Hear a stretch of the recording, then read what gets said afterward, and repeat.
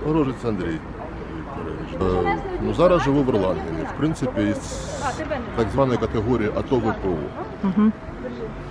Тоб- Тобто до війни жив в Донецьку, 14-15, значить, е, Дніпро 1. Тому що я не хочу, щоб е, те, що здобувалося великими дуже зусиллями, раптом пішло на нівець.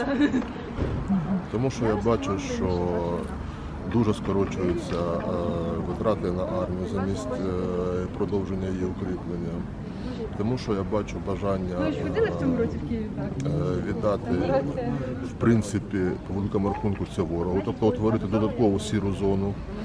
От, е, те, що е, наші брали великою кров'ю, та, значить, з так званою е, тактикою е, жаблячих стрибків, тепер от отак от по одному щелчку все віддати. Тому що я бачу е, генералів, які малюють ще більш віддалені від реальності результати для керівництва держави. По тому ж самому золотому, по настроях в військах і таке інше.